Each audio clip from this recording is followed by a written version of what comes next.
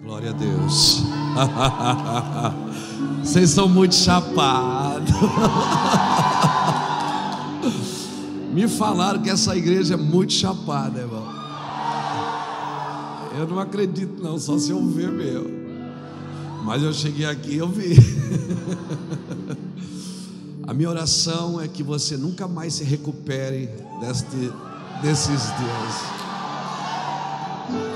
Minha oração é que Deus pegue você por dentro, ajeite uma medida de graça na sua vida, na vida dos seus filhos e dos filhos dos seus filhos, e que você viva para ver a prosperidade de Deus na sua cidade. Não dá para viver uma conferência profética sem ser profético. E eu quero ser muito profético nessa noite. Às vezes a gente pensa que, ah, vamos fazer um culto profético, a gente pensa que é culto esquisito. Não é. Culto profético é trazer diretivas daquilo que Deus está dizendo. E a minha oração é que nós sejamos proféticos nesses dias. Que a gente seja imprimido por Deus, que Deus venha engendrar o nosso espírito os próximos 10 anos que Ele vai fazer no Brasil. Eu não sei quanto a você, como a gente diz lá no sul, Pastor Marcelo, eu estou com muita alegria na minha felicidade. Verdade. Está comigo o pastor Reuel. Reuel é um dos ministros de louvor do nosso ministério, é uma pessoa que Deus preparou para viajar comigo. Eu não viajo sozinho, nunca vou para lugar nenhum sozinho. Ou com Reuel ou com a Iraci. Eu prefiro a Iraci, né? Mas às vezes Deus quer que eu leve o Reuel, então, para me provar. Então, estou muito feliz de estar aqui, viu, Pastor Marcelo? A gente tem ouvido muito falar de vocês na nação. E sabe o que eu me, me impressiono? É que há anos atrás se falava de um ministério de avivamento, de uma cidade de avivamento, de um pregador de avivamento. Não está mais acontecendo assim. Tem focos de avivamento em toda a nação. E Deus está juntando fogo, amém? Ninguém mais é retentor de um avivamento. Deus está levantando pessoas. Essa é a geração dos improváveis. É a geração de Lázaro. Quando Jesus foi em, em Betânia, ele não foi ver as obras esplêndidas de Marta e nem foi ver a adoração extravagante de Maria. Ele foi visitar o morto. E ele olha para o morto e diz: Vem para fora. Deus está fazendo isso, Ele está tirando a gente para de alguns lugares. Eu tenho andado na nação, a minha vida tem sido essa. Todos os dias eu tenho visto Deus levantando os improváveis. Amém? Amém? Então se prepare nos próximos dias. Se prepare, seja, esteja disposto, se exponha à glória de Deus nesses dias. Amém? Glória a Deus. Pastor Domingos, prazer estar aqui também, rever o Senhor. Fomos lá em Marília, fomos muito abençoados, a igreja fantástica, poderosa no Senhor, uma igreja muito abençoadora. Eu tô, eu tô em casa, eu conheço esse cheiro aqui.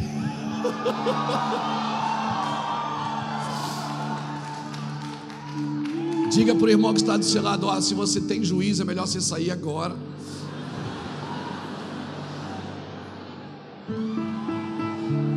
Diga, porque Deus vai te pegar aqui nesses dias. Você não vai prestar para mais nada. Deus vai pegar você por dentro aqui nesses dias.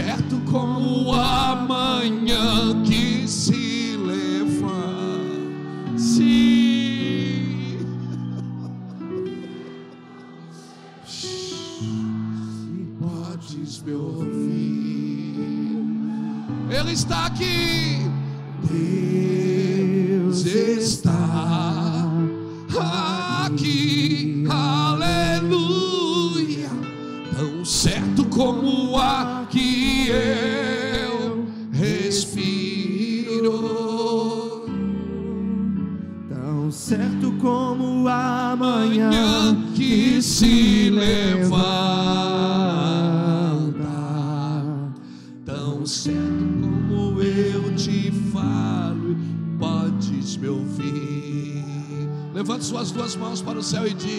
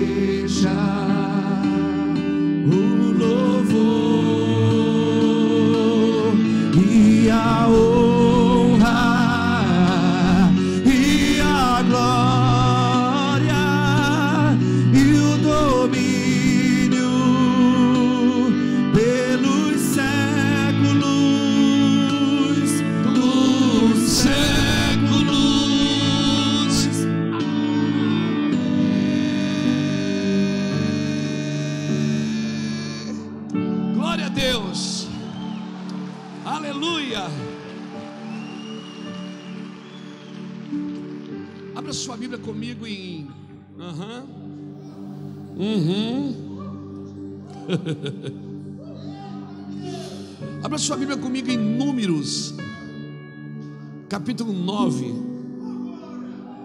Vamos começar nesse mistério aqui, irmão. Aleluia. Nós viemos direto do aeroporto para cá. Não vim com a minha roupa de crente. Estou apaisando. Amém? Glória a Deus.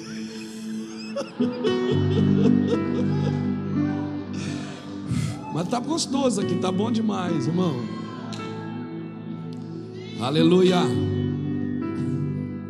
Te adoramos, Senhor. Meu nome é Luiz. Sou casado com a Iraci há 31 anos. Temos quatro filhos, seis netas, seis meninas. E estamos felizes. Pastorei uma igreja ali em Itajaí, Santa Catarina. Uma igreja começou com uns amigos, somos amigos de infância, os pastores, a maioria é amigo de infância. E estamos ali. E dali Deus tem nos levado em tantos lugares no mundo. Uma igreja que nasceu na porta de uma favela e de pessoas, tudo ex alguma coisa. Todo mundo era ex alguma coisa. Quem aqui é ex alguma coisa?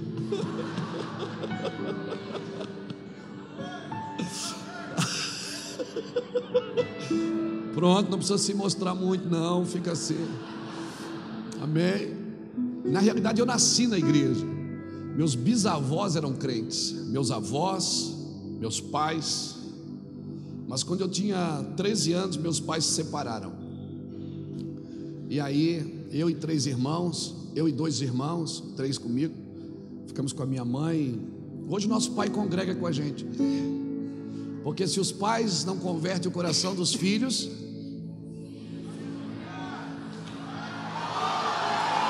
É, Deus não perde a viagem. Amém? Ser profético é isso. Nós estamos numa conferência profética. Ou a igreja é profética ou ela é patética. Ou ela trabalha por aquilo que está por vir. Quando Noé começou a construir a arca, estava chovendo? Ele não trabalhava porque estava chovendo, ele trabalhava porque iria chover. Ele trabalhou por aquilo que estava por vir, não por aquilo que estava chegando, por aquilo que estava acontecendo. Então nós não podemos nos mover só por aquilo que está acontecendo. A Bíblia toda nos empurra por um lugar. E eu quero falar um pouco sobre isso nessa noite com você. Amanhã nós vamos estar nove horas, né, pastor? Pastores, líderes e fominhas. Amém? No, no, amanhã, é, amanhã é sexta, amanhã pode faltar o emprego amanhã, não pode. Né? Mas quem sabe você é dono, se o patrão está aí, já fala com ele. Aleluia. Amém? Eu vou começar algo hoje, mas não vou terminar hoje. Eu vou começar a falar e amanhã a gente emenda. O meu trabalho, querido, é encorajar os pais e habilitar os filhos. Esse é o meu trabalho na nação brasileira. Esse, eu, eu tenho convicção que Deus me levantou para isso. Não para mais e não para menos, para andar nesse lugar, encorajando os pais, dizendo para os pais: sonhem, e dizendo para os filhos: tenham visões. E quando se juntam, isso é uma convergência geracional. Quando há essa convergência geracional de pais e filhos, porque a Bíblia é pai e filho trabalhando junto. Amém? A Bíblia é pai e filho trabalhando junto. Amém, querido? Então nós vamos gastar um tempo aqui hoje. Vamos começar em números. Aleluia. Antes, oh, oh Charles, me dá aqui para mim esse aqui. Deixa eu dar de presente. Já gosto chegando dando presente. Esse é o Charles. O Charles é meu genro. É um dos meus genros, né? Eu tenho dois. Lá eu já casei duas filhas e lá a gente tem um voto com Deus. O primeiro namorado a gente sacrifica ao Senhor, né? Como primícia. Como primícia. Você tem filha também, não tem?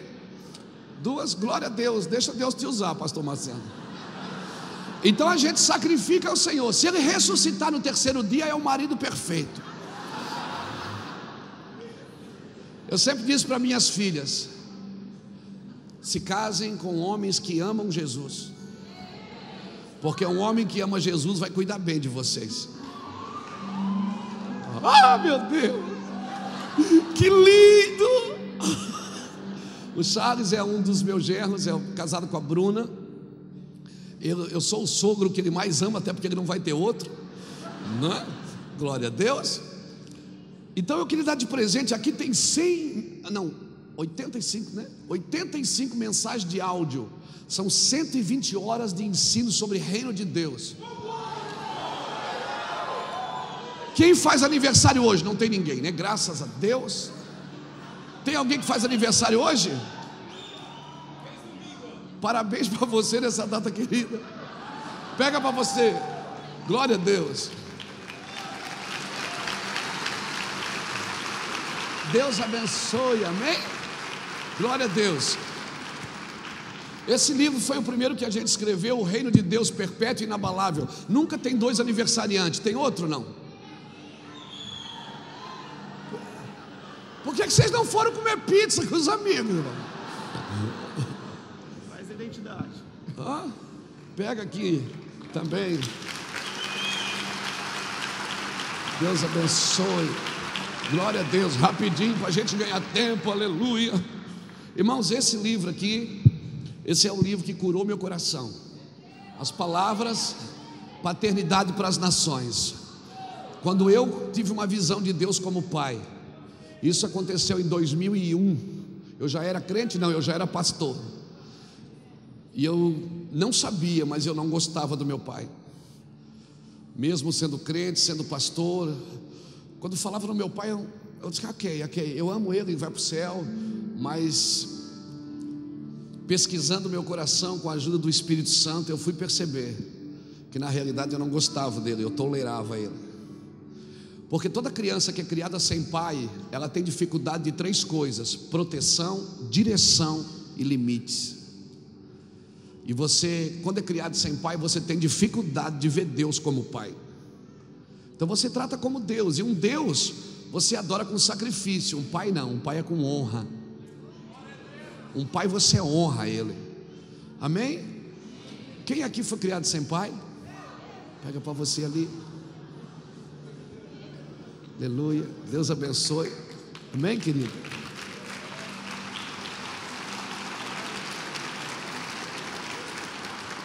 Esse livro foi o último que nós escrevemos. Ele é uma série de três livros. Esse é o primeiro: Sacerdócio, Igreja e Reino. Fala do indivíduo, do coletivo, igreja e do reino eterno. Amém? Quem, quem vai para as nações ganhar-se milhões de almas?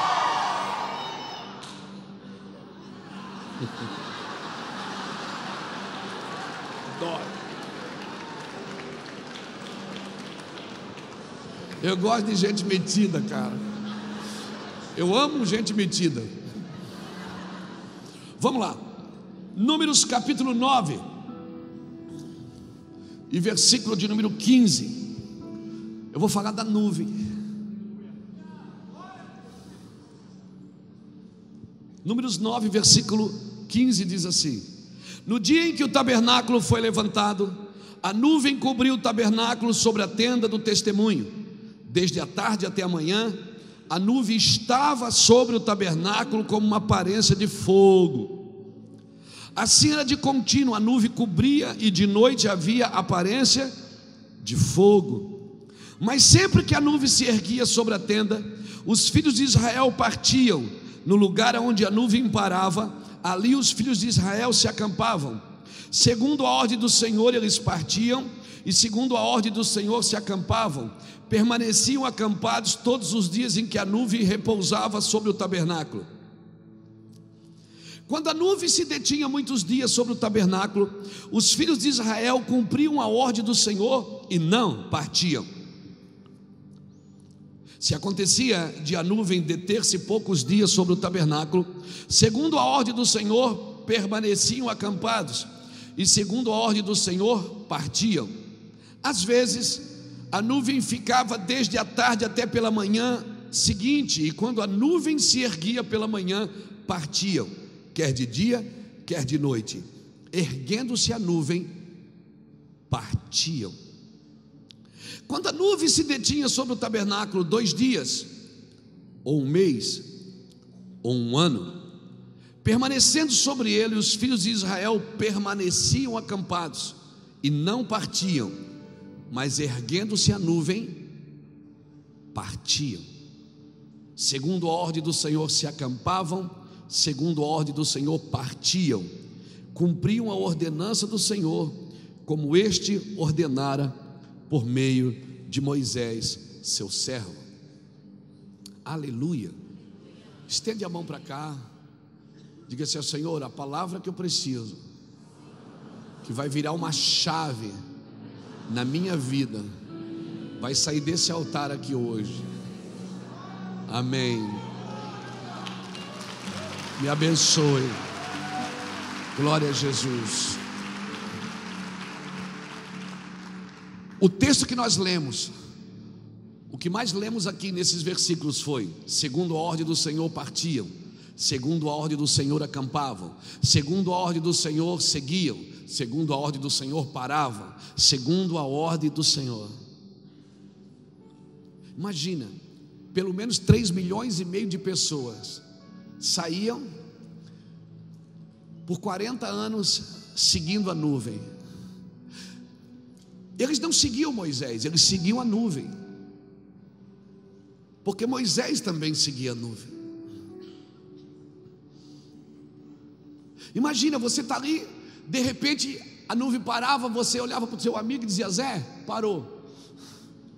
Vamos acampar. Quando você estava desmontando as cargas, tirando dos animais a carga, começando a montar suas cabanas. Eu olhava o outro e dizia: Zé, eu acho que a nuvem está movendo de novo. A nuvem movia de novo. Ou seja, eles estavam tabernaculando, eles estavam se movendo, eles não paravam, eles estavam debaixo de uma palavra sobre a ordem do Senhor. O que eu aprendo aqui, queridos? Que tudo que eu estiver fazendo para o Senhor tem que estar pronto para quando o Senhor disser: partam, se movam, avancem. Eu preciso avançar, porque nós somos proféticos, amém? Nós somos proféticos.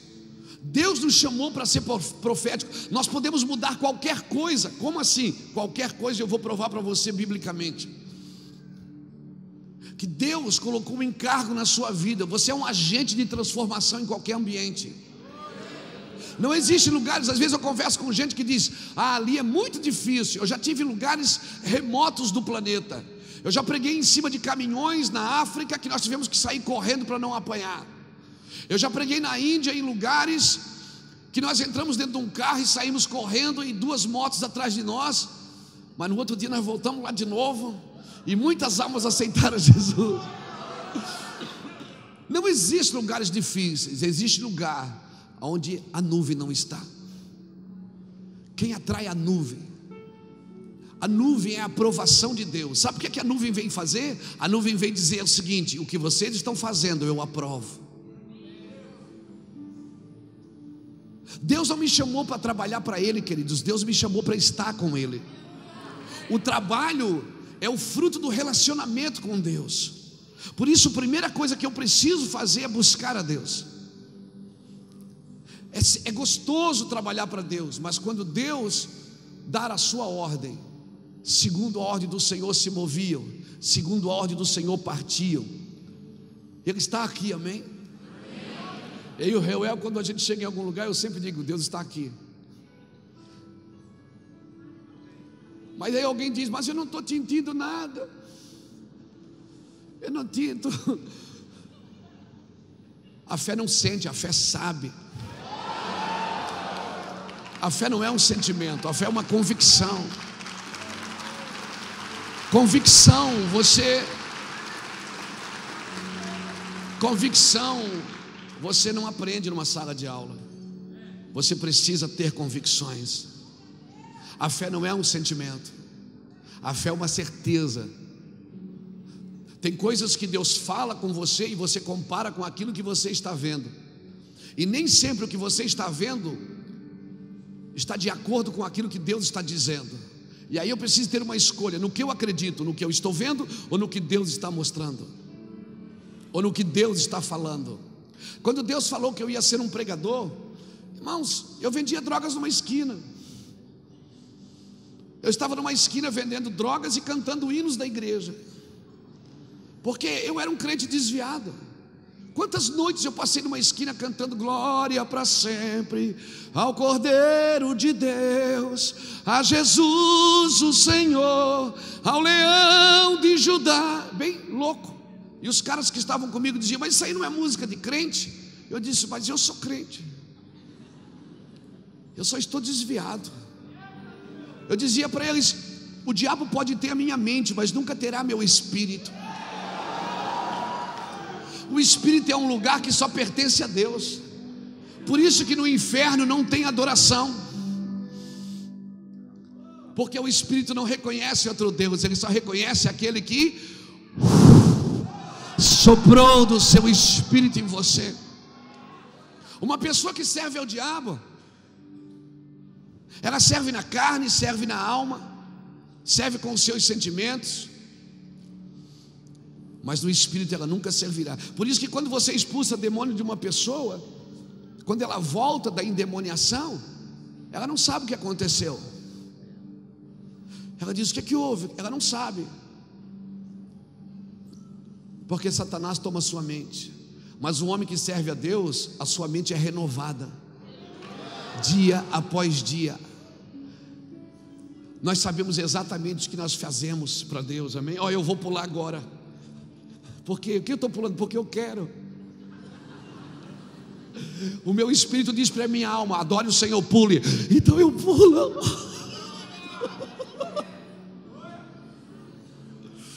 O, o, a alma é um pêndulo, ou ela pende para o espírito ou pende para a carne. Então, tem coisas, querido, que você não tem que sentir, você tem que saber. Você tem que ter convicção. Tem coisas que Deus diz para você que você está 15 anos esperando. E pode acontecer em 15 segundos. Tem coisas da nossa vida que estão paradas, como águas paradas, esperando uma movimentação. Querido, agora eu preciso ter a consciência que o Senhor está aqui. Se nós não tivermos uma consciência da presença, nós não teremos uma conduta de santificação. Aí eu digo, canta aquela música, Reuel, para a gente entrar na presença de Deus. Você não precisa entrar em lugar nenhum. Você só precisa entrar da onde você saiu. Se você nunca saiu, você não precisa entrar em lugar nenhum. Emanuel é Deus conosco, é Deus presente. Ele está aqui, cutuca alguém que está do seu lado, diga: Ele está aqui. Emanuel, o Deus presente, o Deus conosco. Sim, essa é a sua presença. Aleluia! Glória a Jesus. Amém, queridos. Sabe por que, que muitas vezes não somos proféticos? Porque não sabemos lidar com a dor, não sabemos lidar com o sofrimento. Parece que quando alguém está sofrendo, está em pecado. Não, não tire a aflição do seu cristianismo, senão você não tem por que militar. E aí você vai militar em causa própria, não vai militar na causa do reino. Uma mulher, quando está grávida, ela tem a opção de fazer parto normal ou cesariana. Às vezes não tem opção, às vezes ela precisa fazer cesariana. Mas vamos dizer que ela tem a opção. A diferença é que no parto normal, ela tem horas difíceis ali. E grita, e pula, e corre, e chama a mãe, e chama o pai, tem que ter gente para segurar. Mas no outro dia, ela pega a criança no colo e vai para casa cuidar do seu filho. A cesárea não. A cesárea, ela é isenta da dor. Ela tem um momento de parto sem dor mas no outro dia precisa de uma pessoa para cuidar da mãe e do filho. Às vezes eu penso que a igreja quer ter, quer gerar sem dor. Não, querido, não tire a dor, não tire a aflição. O nós precisamos é ser profético e saber que o nosso momento não nos define. O nosso momento não nos define. Às vezes você está passando um momento difícil, não seja definido por isso. Amém? Isso não define você. Às vezes a nuvem parava, eles paravam, às vezes a nuvem seguia, eles seguiam. Imagina, às vezes ela parava um dia, às vezes parava um mês, às vezes parava um ano. Um ano no mesmo lugar. Mas sabe o que eu penso? Que todos os dias eles estavam assim, ó. Eles viviam na terra, mas sua cabeça seus olhos estavam sempre fitados naquilo que se movia, porque o Senhor deu uma ordem. Segundo a ordem do Senhor, eles se moviam. Segundo a ordem do Senhor, e não adiantava, quando a nuvem se movia, tinha que pegar tudo, botar as crianças no colo, desmontar as cabanas e, e pegar tudo e sair atrás da nuvem. Eu não quero estar num lugar que a nuvem não esteja, porque a nuvem é a aprovação de Deus. Quando a nuvem vem, Deus está dizendo: Eu aprovo o que está sendo feito aqui. A nuvem, ela estava ali para proteger o povo e para dar direção para o povo. Por isso, irmão, que não dá para ouvir o evangelho sem nuvem. Um evangelho sem nuvem a gente não tem para onde ir. Um evangelho sem nuvem, a gente vai ficar só esperando alguém fazer algum benefício para a gente. O evangelho tem muitos benefícios, sim. Mas fique esperto. A nuvem vai guiar você até um lugar Amém? Esse é o trabalho da gente, esse é o nosso trabalho. Nós precisamos estar comprometidos com aquilo que o Senhor está dizendo. Se vamos ser proféticos, por que, que você acha que a Bíblia diz os dias de João Batista, os dias de Abraão, os dias de Davi? Por quê? Porque foram homens que deram sentido para os seus dias. Foram homens que, quando eles faziam alguma coisa, os dias tinham sentidos, então o nome deles foi imprimido nos dias. Coloque o seu nome aí nesses dias, os dias de João, os dias de Luiz, os dias de Marcelo, os dias de Antônio, os dias de Maria. Coloque os seus nomes, dê sentido para a sua vida. Ou você vive ou só existe. Amém? Dê sentido para a sua vida, siga a nuvem. A presença de Deus, querido. A presença de Deus, eles conheciam essa presença. Eles não conheciam a presença em, eles conheciam a presença sobre. Está gostoso aqui esse ambiente, não está? Sabe por que está gostoso? Porque eu estou falando de Deus. Quando eu falo de Deus, eu atraio o poder de Deus. Mas quando eu falo com Deus, eu atraio a presença de Deus. Por isso, uma pessoa pode estar num culto 30 anos debaixo do poder e não conhecer a presença de Deus. Agora, o que te transforma não é o poder de Deus, é a presença. Alguém diz assim, pastor, ora por mim, transfere a presença você não transfere, você transfere o poder. A presença só vem se você fizer um lugar para ela. Se você construir um lugar para a presença, então ela vem. Às vezes eu estou em reuniões, as pessoas estão recebendo, está acontecendo milagres e eu estou lá secando. Mas eu vejo todo o vídeo seu pulando, dançando, porque eu não vivo por sentimento. Eu sei que ele está ali. Às vezes eu estou pregando, eu digo, Deus, eles estão sentindo, eu não estou sentindo nada. Ele diz: o, o seu lugar de sentir não é aqui, é só nós depois. Uhum. Amém? Seja tão extravagante com Ele como você é extravagante com as pessoas. Aleluia. Adoração, querido. Deus precisa ser adorado. Hein? Deus, se você adora Ele é Deus, e se você não adora, ele deixa de ser Deus? Você comprometeu a sua divindade? Não. Então por que, que ele pede adoração? Por que, que ele passa a Bíblia inteira dizendo adorai o Senhor, adorai o Senhor, adorai o Senhor, adorai o Senhor? Por quê? Se ele não precisa disso. Porque Deus sabe que você fica parecido com tudo que adora. Se você adora dinheiro, você vira avarento. Se você adora coisas, você vai virar idólatra. Mas se você adora Ele,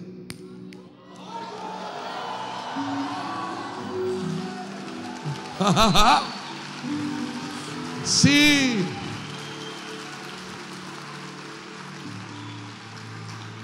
Por que, que você acha que César, quando Jesus pegou uma moeda e disse: De quem é essa imagem? Disse: É de César. Por que, que você acha que Jesus disse: De quem é essa imagem? É de César. Ele disse: então dá a César o que é? Você sempre vai terminar na mão daquilo que você representa.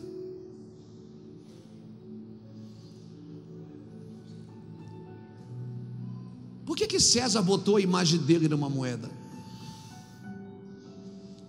Porque nós atrelamos a nossa imagem àquilo que é importante para nós. Quando César botou a imagem dele numa moeda, ele estava dizendo: dinheiro é importante para mim.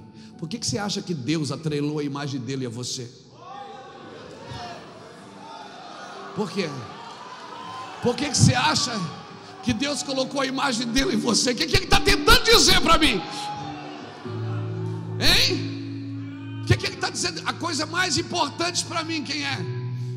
Quando ele coloca a imagem dele em você e diz: Você é a minha imagem e a minha. O que, é que ele está tentando dizer? Luiz, você é importante para mim. Só que ele me fez a sua imagem e disse para mim: Não faças para ti imagem. Sabe o que ele está dizendo? Você não precisa. Deixa que eu faço. Viver profeticamente é viver na vontade de Deus, irmãos. É você acordar de manhã e dizer: Meu Deus, o que é que eu faço hoje, Jesus? Meu Deus, tem tanta coisa para fazer.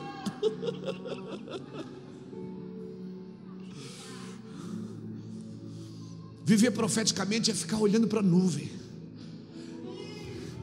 É dizer o que é que o Senhor vai fazer hoje. Às vezes eu vou orar, eu quero dar conselho para Deus, como se Deus não soubesse o que fazer.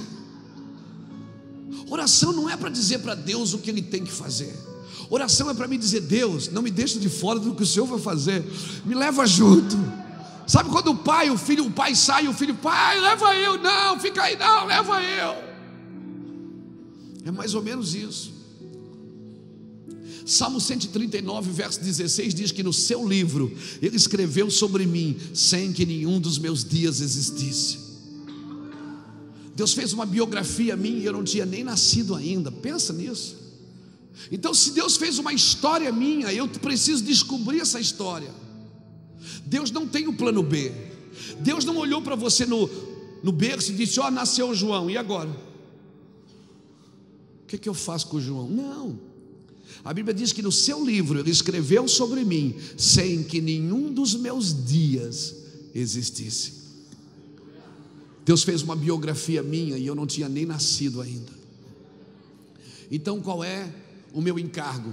É descobrir o que ele disse sobre mim. Quantas vezes eu estava nas drogas e eu disse: Deus, essa não é minha vida.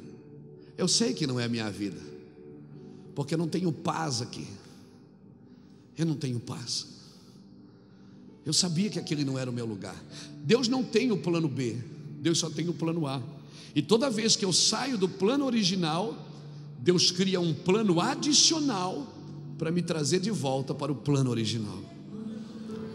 O plano original de Deus é eu e você somos a maioria. O plano original de Deus é você saber por que, que você nasceu. Você está tentando descobrir quem você é. Você precisa primeiro descobrir quem Ele é. Ser profético é andar com Ele, porque Deus é geracional. Ser profético é você descobrir o que ele está dizendo. Ser profético é descobrir quem ele é. Um dia ele perguntou para os discípulos em Mateus 16: O que as pessoas dizem que eu sou? Aí eles disseram: Um diz que o senhor é Elias, outro diz que o senhor é isso, aquilo. Ele disse: E vocês o que dizem? Pedro pulou e disse: Eu sei, tu és o Cristo, o Filho do Deus vivo. Quando Pedro disse: Tu és o Cristo, descobriu quem ele era, o que é que ele disse? E tu és Pedro. Ou seja, quando eu descubro quem Ele é, eu descubro quem eu sou. Ele diz: Pedro, você teve uma revelação agora.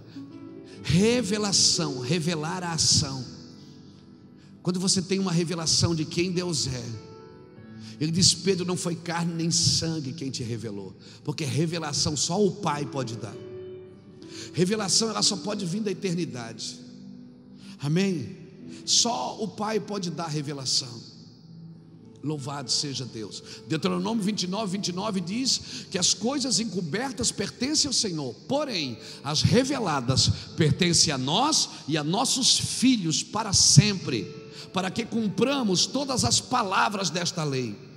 Revelação não é para criar, é para cumprir.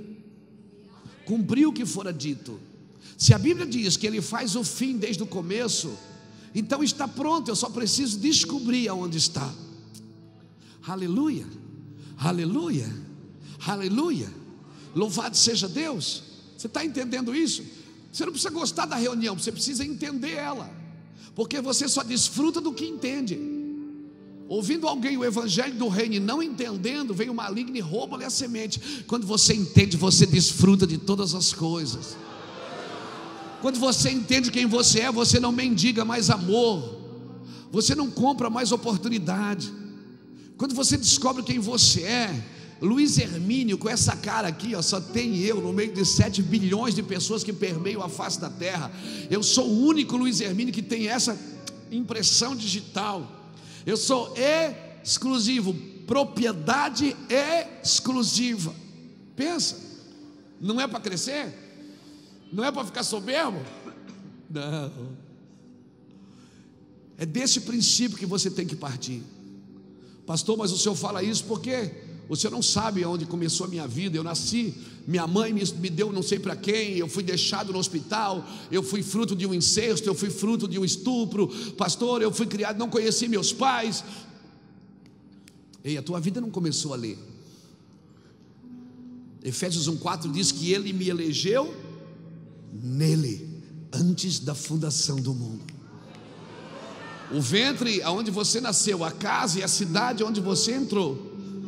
Como você começou na terra, não é tão importante da onde você foi criado. Então o céu não é o seu destino, é a sua origem. Quer ser curado da alma? Não volta ao passado, volta à origem. Volta à origem, porque a origem cura o passado, o presente e o futuro, amém? Você está entendendo isso? Ser profético é andar geracionalmente.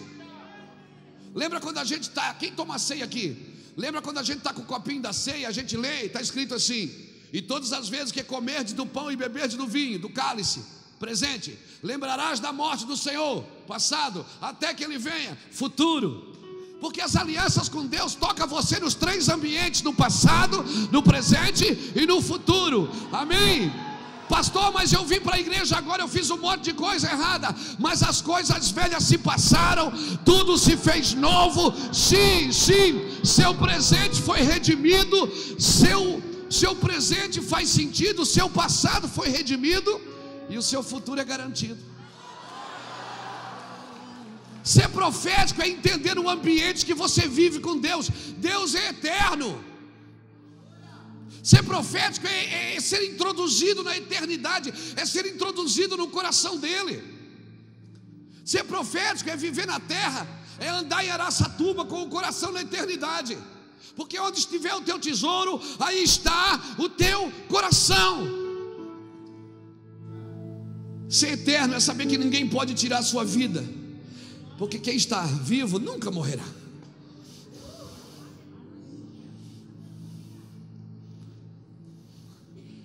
Quem aqui já ouviu uma palavra assim, ó, eis que eu te digo, filho meu? Já ouviu? Não é bom? Não é bom? É bom, não é? Hoje eu cheguei aqui, irmão, já deu no meio assim, tal, eu já peguei, eu disse é minha. Não é bom ouvir uma profecia e dizer assim, alguém dizendo, eis que eu te digo, não é? Quem aqui já recebeu? Você não chorou? Você ouviu as primeiras 30 palavras, depois não ouviu mais, caiu no chão, chorou, babou. Depois fica perguntando o que, foi mesmo que ele disse. Quando alguém está profetizando, eu fico intacto. Mesmo que eu tenha vontade de me de chapar, eu fico esperando. É gostoso, não é gostoso? É bom que seja na frente de toda a congregação, para todo mundo ver que a gente também tem chamado, aleluia. É ou não é? Não é bom? Aí você vai para casa assim. Deus falou comigo. No outro dia não muda nada, o relógio desperta, você tem que trabalhar. Né? Alguém ofende você no trabalho, mas Deus falou comigo ontem. Aí no primeiro dia você está assim ainda, você liga para todo mundo, rapaz, tu viu essa palavra que Deus falou ontem. No terceiro dia você está ligando para o irmão João, para a irmã Maria, você ora por mim para Deus confirmar. Isso é ser patético.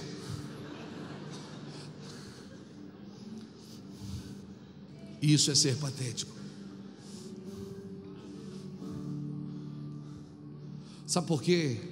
Porque assim como desce a chuva e a neve do céu, e para lá não volta, mas antes rega a terra e dá semente ao que semeia e pão ao que come, assim é a palavra que sai da minha boca.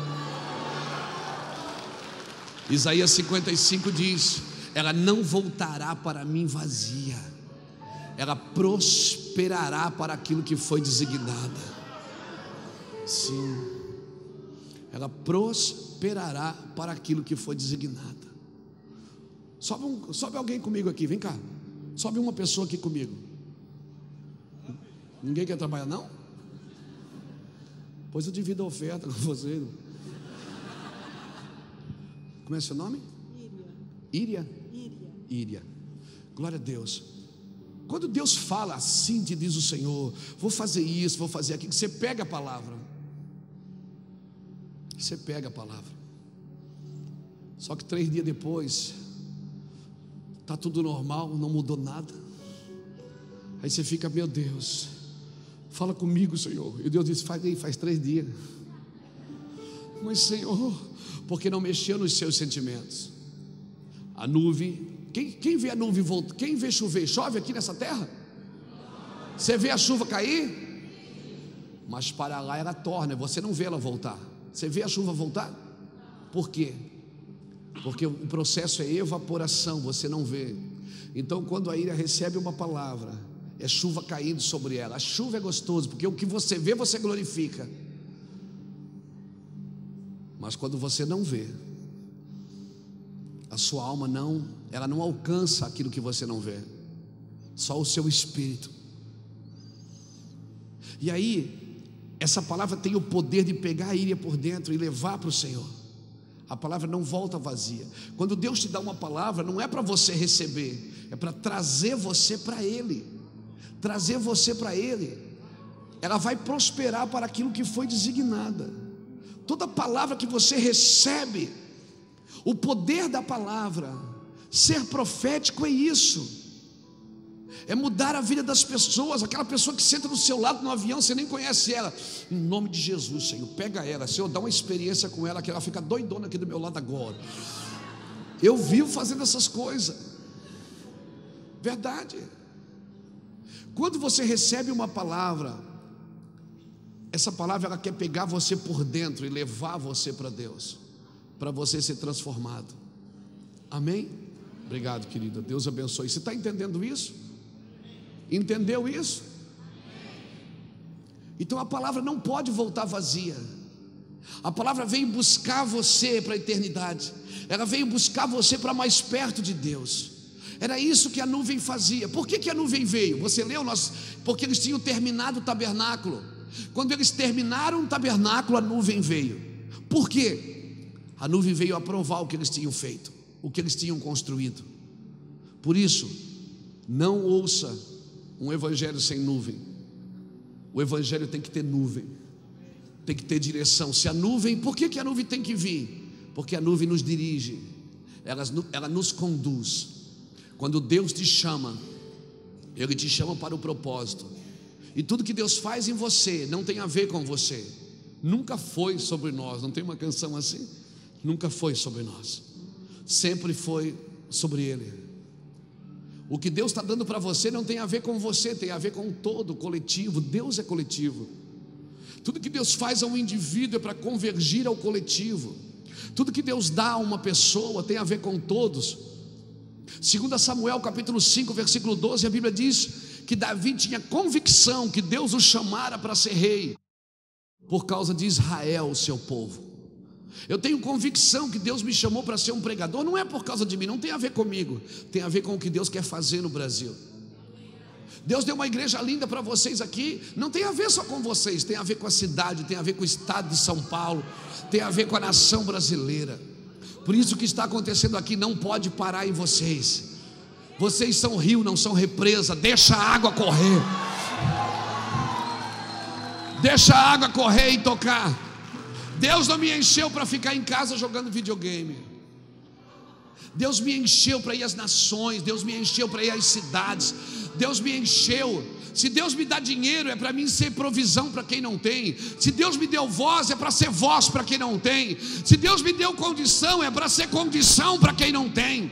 Tudo que Deus faz tem a ver com o todo, tem a ver com o coletivo. Não se coloca uma lâmpada debaixo de uma vasilha, mas se coloca no alto para que ilumine todos os que estão na casa. Aleluia! Deus quer remir todos os ambientes. Por que, que você acha que Jesus foi confundido com um jardineiro quando ressuscitou? Porque Adão era jardineiro. Jesus estava remindo ah, o cultivo da terra. Por que, que você acha que ele sangrou primeiro no jardim para depois sangrar na cruz? Porque ele remiu o ambiente que Adão perdeu. Ele sempre vai remir os ambientes aonde teve problemas, aonde teve quedas. Sabe quem governa a sua casa? Quem é adorado lá. Sabe quem governa a sua empresa? Quem é adorado lá. Sabe quem governa o seu casamento? Quem é adorado nele. Sabe quem governa as suas finanças? Quem é adorado com ela. Sabe quem governa a sua vida? Aleluia. Show. Alguém levante a mão e solta esse leão que está aí dentro. Ei, sim. Sim, sim, Senhor. Não há outro como tu. Não, não há. Não há outro que irá. Além de ti. E as batidas do meu coração chamam o teu nome, Jesus. Quantos querem ser profético? Ser profético é dar destino. Ser profético é apontar o caminho. Eu estava na selva do Peru em abril do ano passado e eu eu tive um problema no ombro direito, tive uma tendinite muito forte. Na selva, nós temos uma base de missões lá na selva.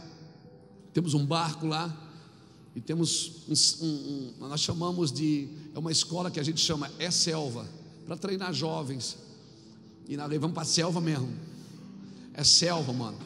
Não é floresta, não. Floresta é coisa de Joãozinho e Maria. É selva. E eu estava lá com o braço dolorido que eu não conseguia mexer os dedos. E o pessoal, pastor, vamos voltar, vamos voltar para a terra. Eu disse, não, vamos continuar, só falta seis dias. Vamos embora. E eu fui tomando analgésico para dor, para poder dormir. Quando eu cheguei em casa, em Itajaí, eu fui procurar um fisioterapeuta. Ele me examinou e disse: Luiz, você está com uma tendinite muito forte e você vai ter que tomar alguns remédios para dor. Eu vou te dar três injeções, uma hoje, uma amanhã e uma depois. Eu disse, vou tomar uma agora. Ele disse, é melhor, vamos tirar a primeira dor, depois a gente faz a fisioterapia. Eu digo, ok. E aí eu já estava tirando a camisa para tomar a injeção. Ele disse, não, você vai tomar a injeção aqui, ó. Ele disse, eu disse, não, mas a dor é aqui, ó. Ele disse, não, mas o remédio é aqui, ó.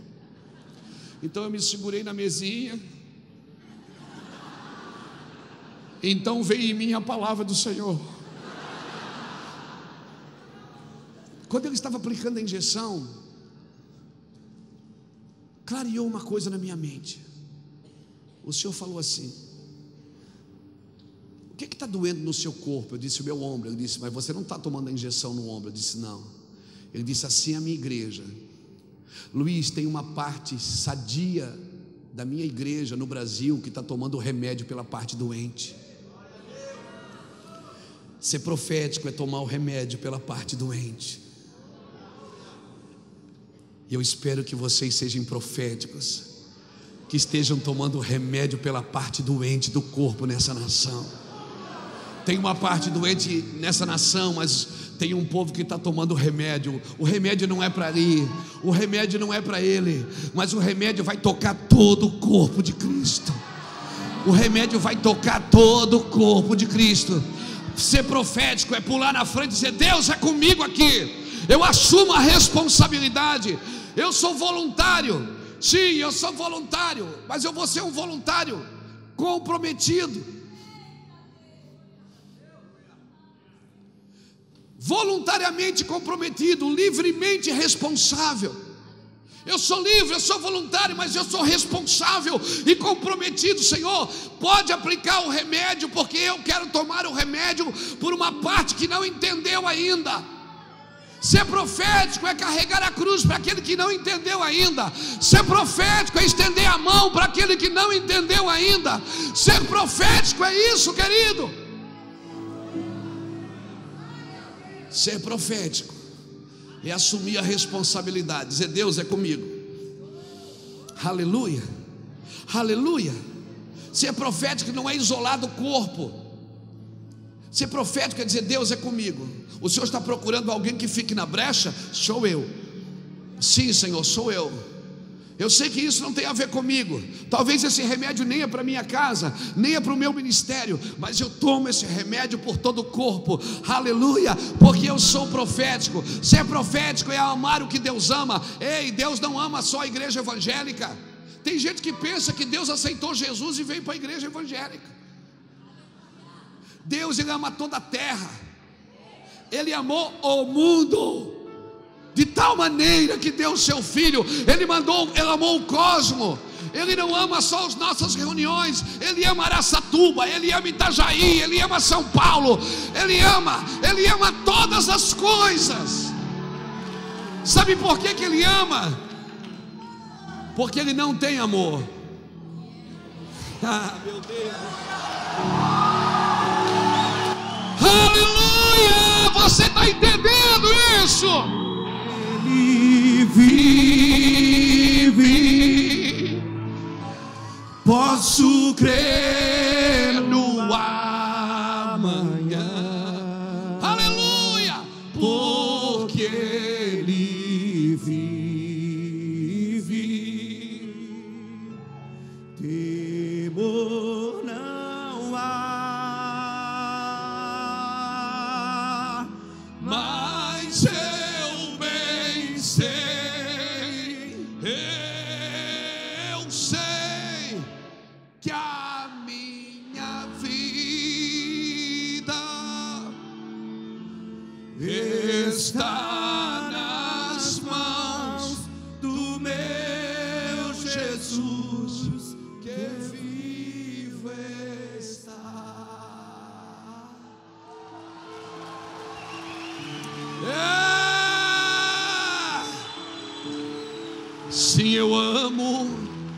a mensagem da cruz.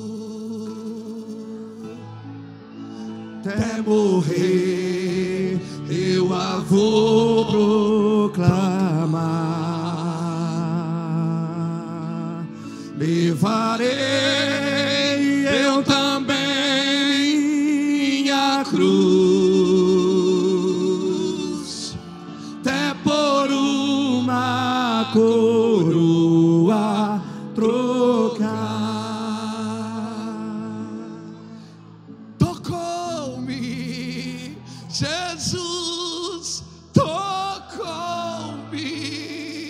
ah meu Deus, de paz ele encheu meu coração. Quando o Senhor Jesus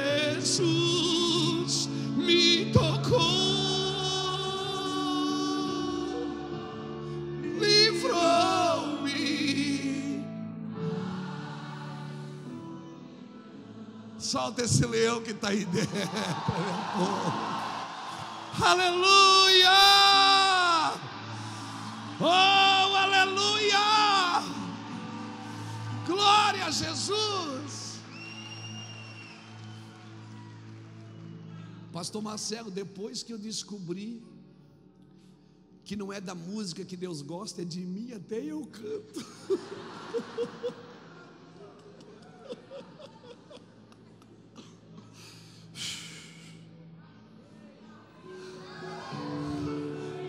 música que Deus gosta, é de você.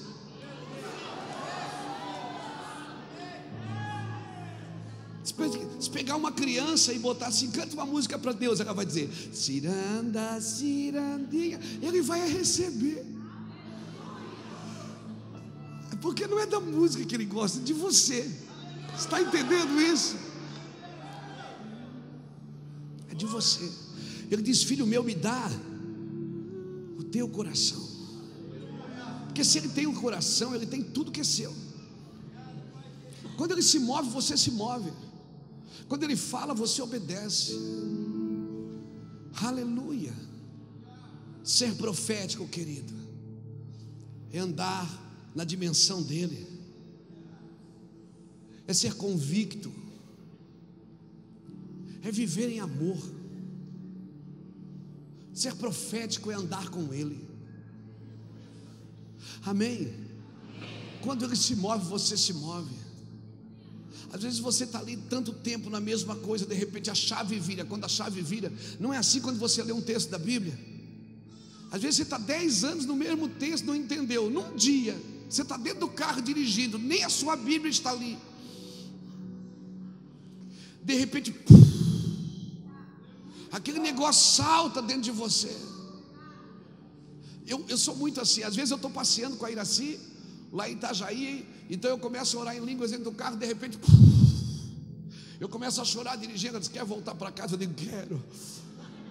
Porque eu sei que eu vou mergulhar por alguns minutos, por algumas horas e a coisa vai ficar grande.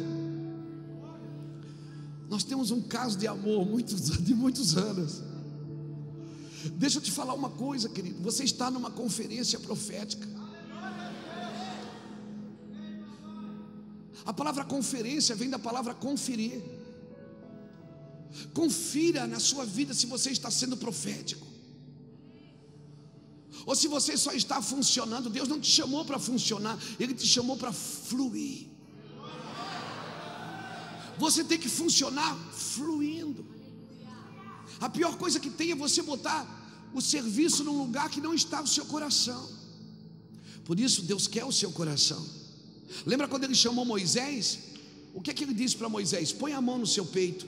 Moisés põe a mão no peito. Quando tirou a mão, o que é que tinha na mão? Porque como estiver seu coração, assim vai estar seu serviço.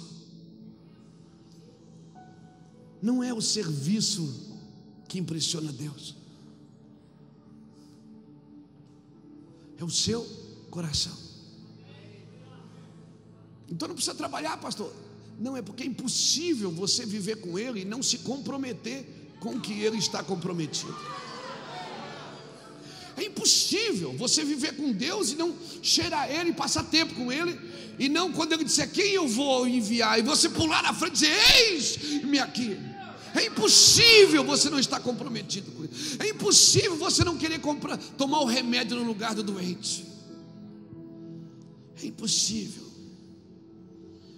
Se você anda com Deus, você vai ser profético o tempo inteiro. O tempo inteiro. Abra sua Bíblia comigo em Deuteronômio, capítulo 6. Ai. irei, se eu não tenho para onde voltar, só tenho você, Deus.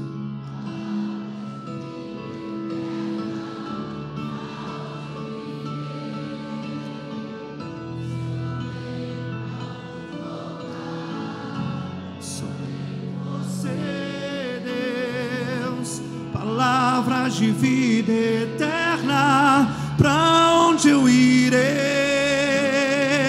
Se eu não tenho pra onde voltar, só tenho você, Deus.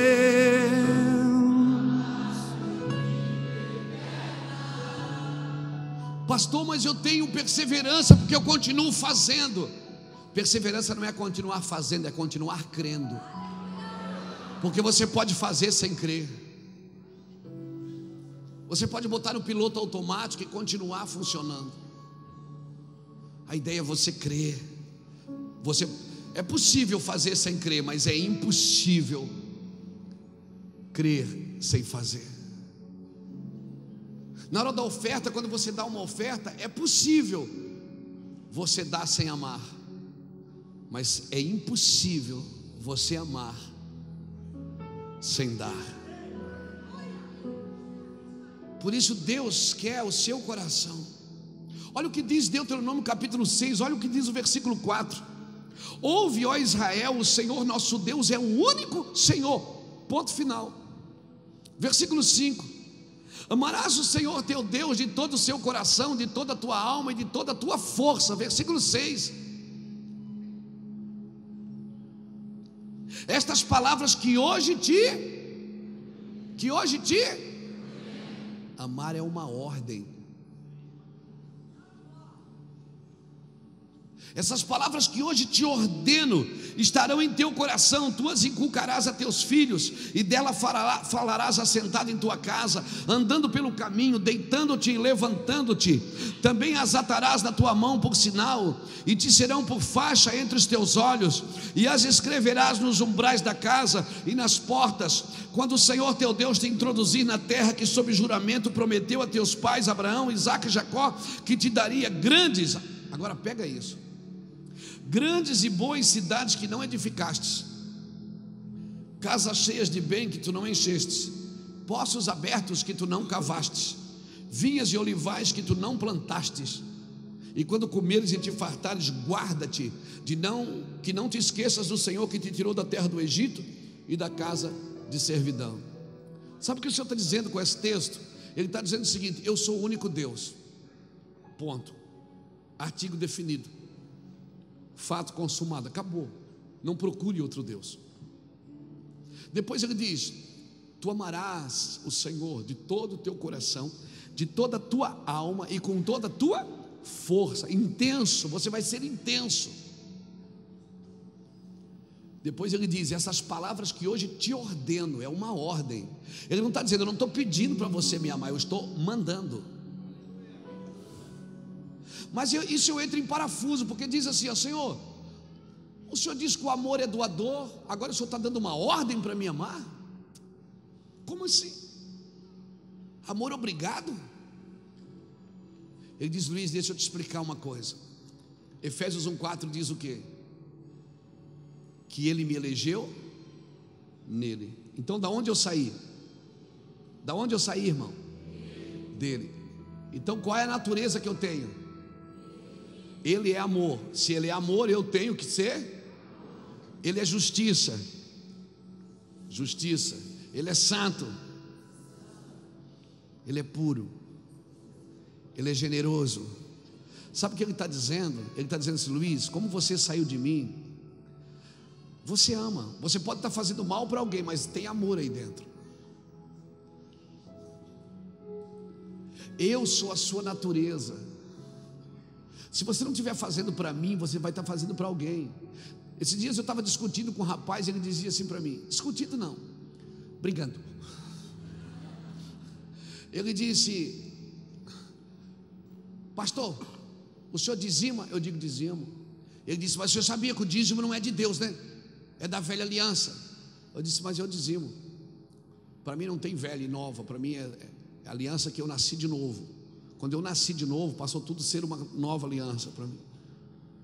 É tudo uma aliança só. Ele disse: É, mas eu não dizimo. Eu disse: Claro que dizima. Não dizimo. Eu disse: Dizima. Você só não sabe para quem, mas você dizima. Porque todo mundo dizima. Por quê? Porque é da tua natureza. A tua natureza é generosidade. Louvado seja Deus. Vem um, vem um homem aqui agora, vem um homem. Vem cá. Porque eu vou ter que pegar você aqui. Vem cá. Como é seu nome? Guilherme. Guilherme. É o Guilherme. Quando o Guilherme nasceu, o Guilherme nasceu em Deus primeiro. Deus formou, mas Deus não formou ele do pó da terra, formou, mas não criou. Deus criou o Guilherme nele, ele me elegeu nele, antes da fundação do mundo para que eu fosse santo. Ó, teu coração está batendo. Você viu? Viu? Bateu. E forte. Graças a Deus. Graças a Deus. Quando ele criou o Guilherme, aleluia. Se comporta, você está numa igreja evangélica, irmão. Aleluia. Quando ele criou o Guilherme, ele, for, ele criou o Guilherme nele.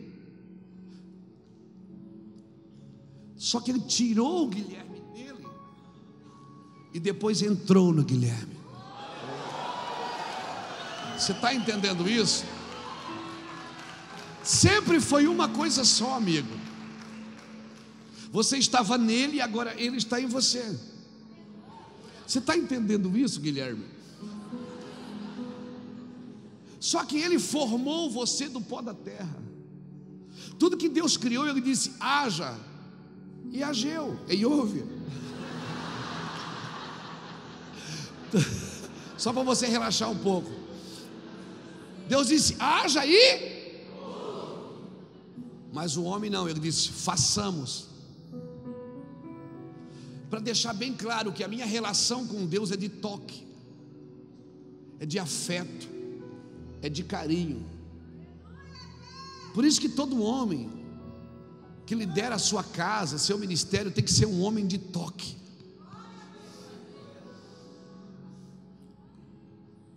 Aqui no Guilherme tem duas naturezas: tem o céu e tem a terra. A música do meu amigo Davi Fernandes, céus e terra se encontram, alinhando. Onde é que céus e terra se encontram?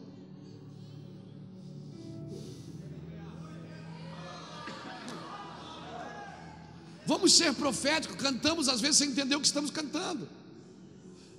Céus e terra se encontram. O único lugar que céu e terra se encontram é no ser humano. Porque tem a formação do pó, mas tem a glória. Quando você acorda de manhã, você decide quem governa, o céu ou a terra. Porque você tem as duas naturezas. Se você optar pela terra, você é pó da terra, e o diabo tem poder para se alimentar do pó da terra. Porque foi profetizado, não esqueça, a Bíblia é profética. Deus falou que a serpente comeria do pó da terra. E por isso que ela começa em Gênesis como serpente e termina em Apocalipse como dragão. Comeu pó demais, né, irmão? Não foi?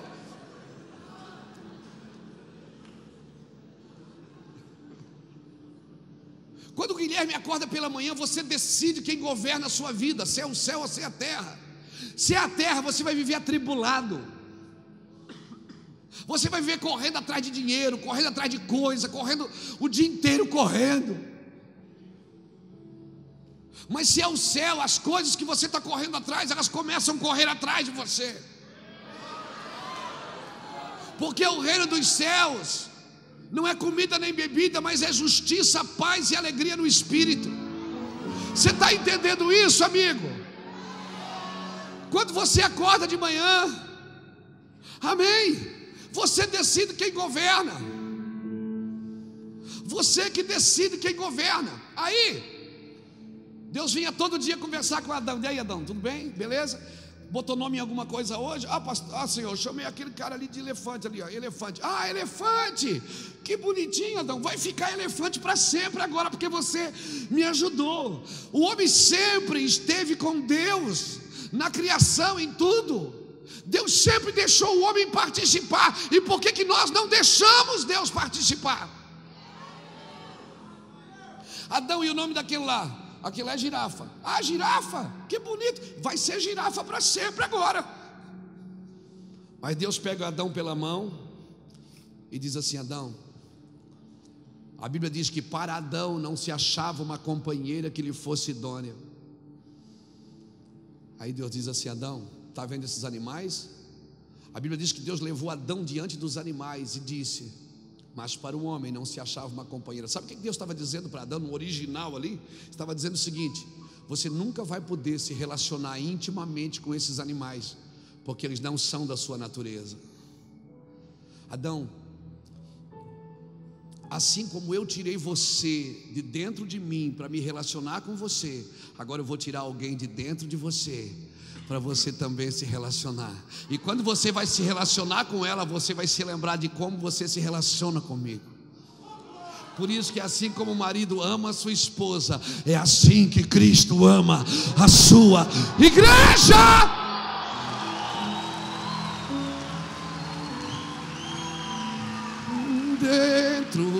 para fora, vem queimar. Você está pegando isso? Você está entendendo isso? Por isso que Satanás trabalha para destruir o lar. Por quê? Porque quando eu olho para o lar, eu vejo Deus. Você está pegando isso no seu espírito? Você está entendendo isso? Vem cá, Guilherme. Vai acostumando. Eu sou profético, você está numa conferência profética. Se eu fosse numa conferência, um pregador me pegasse assim pela mão, eu ia dizer, dizer Deus, eu quero essa unção aí para mim. Isso é meu, eu não perco tempo, não, irmão. Verdade, você está numa conferência profética. Eu estava numa reunião de obreiros em 1996. Eu e Iraci morávamos a sete quilômetros da igreja, nós tínhamos uma bicicleta. Nós nunca perdemos uma reunião em dois anos e meio, mais ou menos, que nós congregamos. Dois anos nós cuidávamos das crianças, limpávamos os banheiros. Um dia, nós não tínhamos dinheiro para pagar a energia da nossa casa. Nós morávamos de favor na casa de um cunhado. Sim. A companhia elétrica foi lá e cortou a energia. Aí assim, muitos sábios, vamos, vamos hoje tem reunião de obreiro, vamos para a igreja. Eu digo, não, não vou mais não. A gente não prospera, a gente não vai para lugar nenhum. Olha aí, a gente, a nossa vida é miserável. Pelo menos quando eu vendia droga, tinha dinheiro.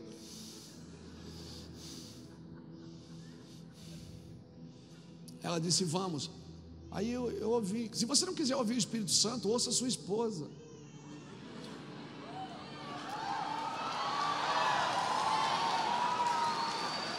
Nós já vamos empatar já. Segura aí que nós já vamos empatar.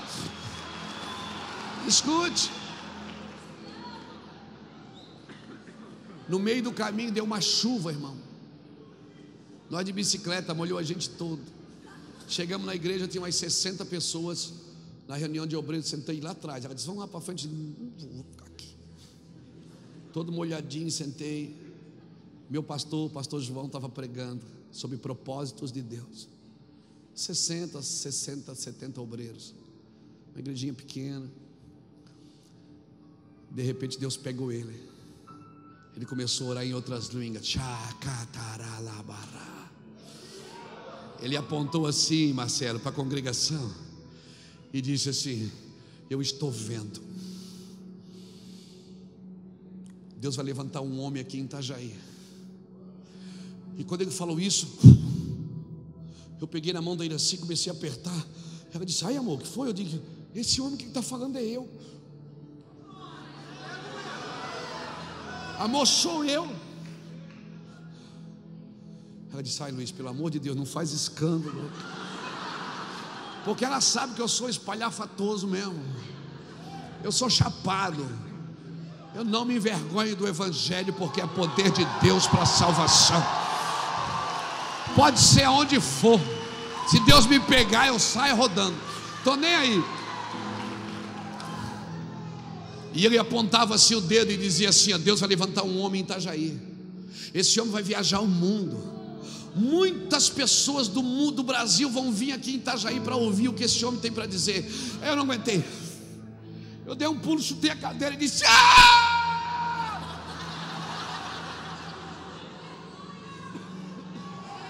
Aí tinha sessenta e poucos irmãos, eles olharam. Eu disse, pastor, esse cara aí é eu aqui, ó. Irmão, eu nunca me esqueço. 1996, fevereiro, março de 96, faz 22 anos. Ele apontou o dedo assim e disse assim: Assim seja, irmão Luiz Hermínio. Eu peguei aquela palavra. Deixa queimar, Eu deixa peguei aquela queimar. palavra, cara. Deixa queimar, Eu deixa peguei aquela queimar. palavra. Escuta. Eu peguei aquela palavra, montei na minha bicicleta, parecia uma Kawasaki.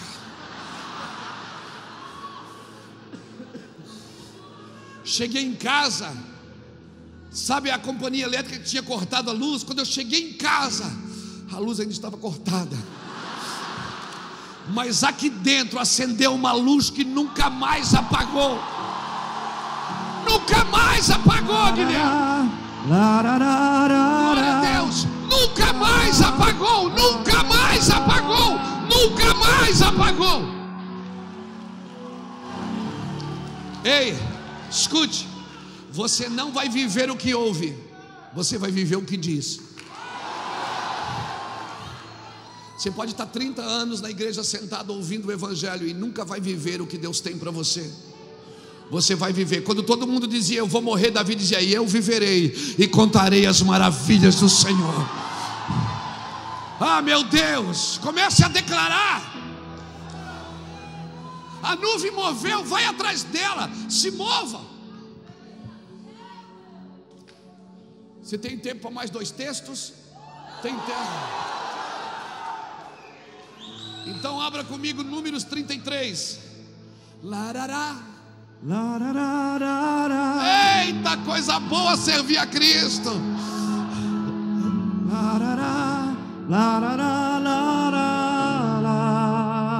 Existe o fogo. Existe um fogo cerrado em meu peito. Ah! que não me dá descanso. Não me dá Eu descanso. não tenho descanso. Eu não tenho descanso, Jesus. Existe um fogo cerrado em meu peito que não me dá descanso. Não, não tenho descanso.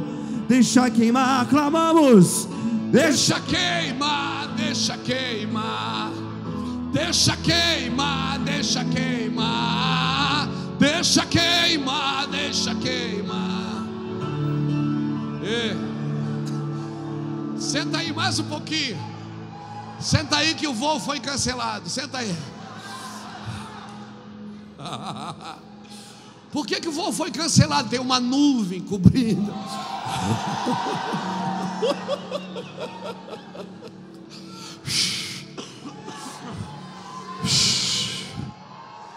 Eu quero declarar Araçatuba, vocês vão viver os melhores anos das vossas vidas. O Brasil conhecerá o avivamento que está acontecendo aqui. O Brasil conhecerá esse fogo. Mas quando Deus falar, não retenha o fogo, deixa o fogo correr, deixa as águas correrem. Deus vai trazer gente do mundo aqui para ouvir vocês pregarem. Deus vai trazer gente aqui para ouvir esses meninos, eles vão crescer e eles vão se tornar profetas do Senhor. Sim, pastor, mas Deus ainda não está me usando. Ei, escute. A necessidade da maioria sempre se serve da fé da minoria. Na multiplicação dos pães tinha cinco mil para comer, doze para servir e um para ofertar. Mas aquele que ofertou matou a fome de cinco mil. Deixa eu te falar uma coisa, querida. Não se preocupe em ser a minoria. Não se preocupe. O que Deus promove, Ele protege. Tudo que Deus promove, Ele protege. Se Deus está promovendo você, fique tranquilo, Ele vai promover, Ele vai proteger você. Aleluia. Números 33 diz assim: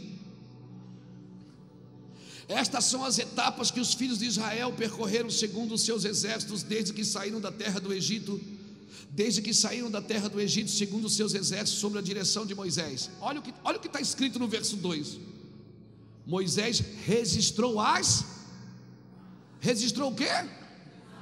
As etapas, a minha, a minha, a minha Bíblia diz as saídas, do, as saídas dos acampamentos, que é a mesma coisa segundo as suas jornadas. Versículo 3 diz assim: Partiram de Ramassés. Versículo 5: Partiram os filhos de Israel de Ramassés. Versículo 6: Partiram de Sucote. Versículo 7: Partiram de Etá. Versículo 8: Partiram. E se você ler todos os versículos, vai estar em todos os versículos: Partiram, partiram, partiram, partiram, partiram. Por que, que Deus não diz para Moisés: Resiste às entradas? Ele disse: registre as saídas, porque as entradas não têm a ver com você. Se você resolver sair de alguns ambientes que você entrou pela alma, se você sai deles, os próximos passos quem vai dar é Deus. Andar por fé é dizer: sai da tua terra e vai para um lugar que eu te mostrarei. Sabe o que, que acontece? Ele não deu o desenho, ele não deu. Você tem que sair para que as coisas vão clareando. Quando você sai de alguns ambientes de medo, de incredulidades, alguns ambientes que você entrou pela carência, pela dor, pela decepção, pela ofensa. Quando você sai desses ambientes, querido, é o Senhor que te leva para os outros ambientes. Eu falo uma coisa para você, eu tenho 51 anos. Eu vivo intensamente no Senhor há 23, pregando quase que todos os dias. Dos 14 aos 28 anos eu fiquei fora do Senhor. Mas quando eu voltei, em dois meses eu li a minha Bíblia inteira. Em cinco meses eu tinha lido umas quase três vezes. E eu fiquei doido. Eu acho que eu ainda estou. Eu fiquei doido, verdade. Há 20, nesses 23 anos eu prego o Evangelho quase que diariamente. Às vezes nós viajamos tanto.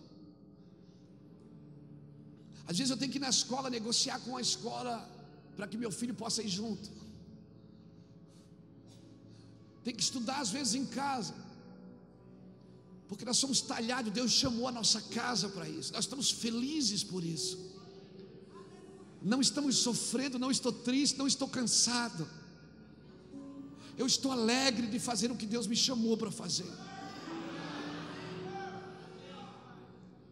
Você não vai ser feliz juntando coisas, você vai ser feliz fazendo o que Deus te chamou para fazer. Você vai ser feliz andando quando a nuvem se mover, você vai atrás dela, você corre atrás dela. Resiste às saídas. Talvez você vai ter que sair de alguns ambientes que você entrou pela alma. Ambientes de medo, de incredulidade.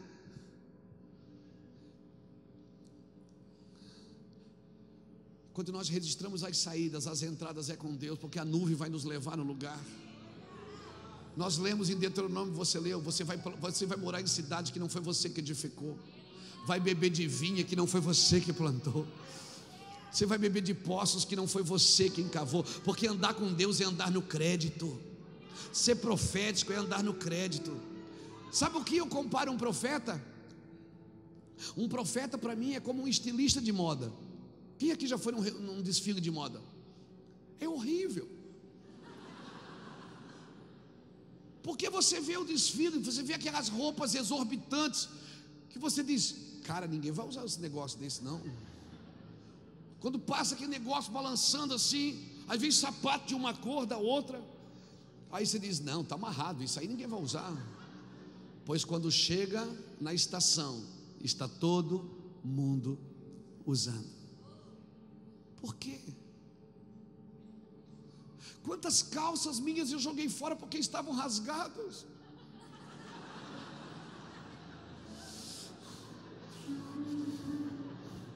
Quantas calças minha mãe cortou para fazer bermuda?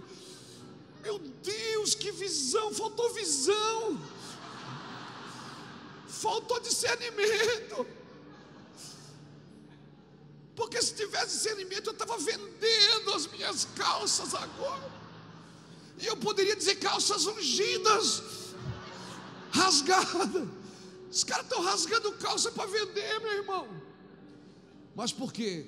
Porque alguém teve uma ideia.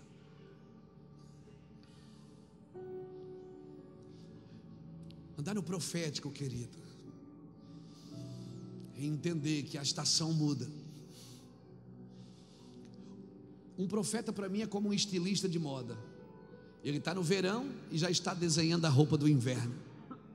Aí você está no verão, ah, 45 graus, ele faz um casaco de pele e diz: Olha aqui, ó, o que, que eu estou vendo? Aí você diz: Tá, você, não, você é bobeira. Não, a estação vai mudar.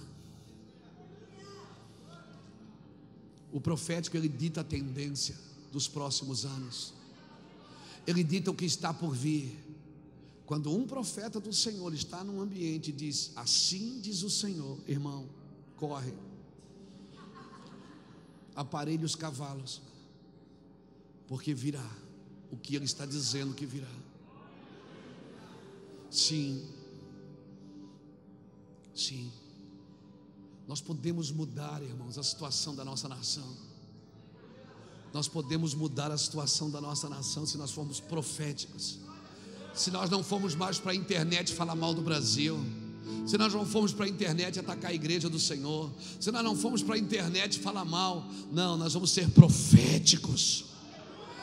Nós vamos ser proféticos. Nós vamos olhar para alguém mal e dizer: Você pode ser bom, porque você nasceu do Senhor e a sua natureza é bondade. Você pode ser justo. Irmão, imagina, Deus fala com Abraão. Meu Deus. Deus fala, está acabando, está acabando. Deus fala para Abraão e diz assim: Vai para uma terra que mana leite e mana. Eu vou te levar para uma terra que mana o quê? Leite e mel. Aí Abraão chega na terra, o que, que tem na terra? Fome. Peraí, mas Deus acabou de falar com ele, tem leite e mel. Abraão chega na terra, tem o que na terra? Fome. Esse é o problema, que nós comparamos o que estamos vendo com o que Deus disse. O que Deus disse é incomparável. Você não pode comparar com nada. O que Deus disse é a verdade absoluta. Ponto final. Agora, como saber o que Deus disse, pastor? Será que é Ele mesmo que está falando comigo? Como é que eu sei que é Ele? Que na maioria das vezes Ele fala não tem a ver com o que você quer. Porque Deus não fala a sua alma. Deus fala as prioridades Tudo que Deus faz é prioridade. Tudo que Deus faz primeiro é prioridade. No princípio criou Deus o e a. O que é que ele fez primeiro? Então qual é a prioridade? O céu. Se o Senhor não edificar a casa, em vão trabalhos que edificam. Se o Senhor não guardar a cidade, em vão vigia a sentinela. O que é que vem primeiro, casa ou cidade? Casa. A casa é prioridade. Só posso guardar a cidade se a casa está edificada. O salmista diz: Uma coisa eu pedi ao Senhor e a buscarei, que eu possa estar na casa do Senhor todos os dias para contemplar a sua formosura e para aprender no seu templo. O que é que vem primeiro? Contemplar a formosura ou aprender no seu templo?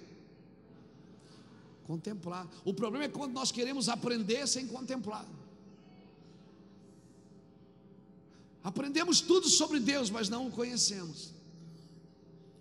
Eu tenho que experimentar. Por quê? Porque Deus você não estuda. Você estuda a Bíblia.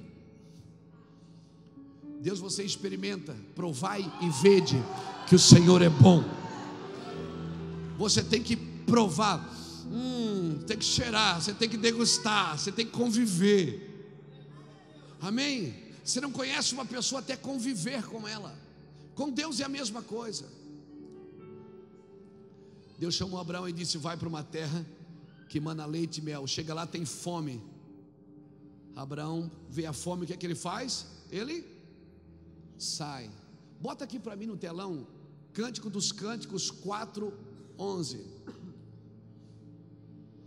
Bota ali. Os seus lábios gostejam a doçura dos favos de mel, minha noiva. Leite e mel estão debaixo da sua língua.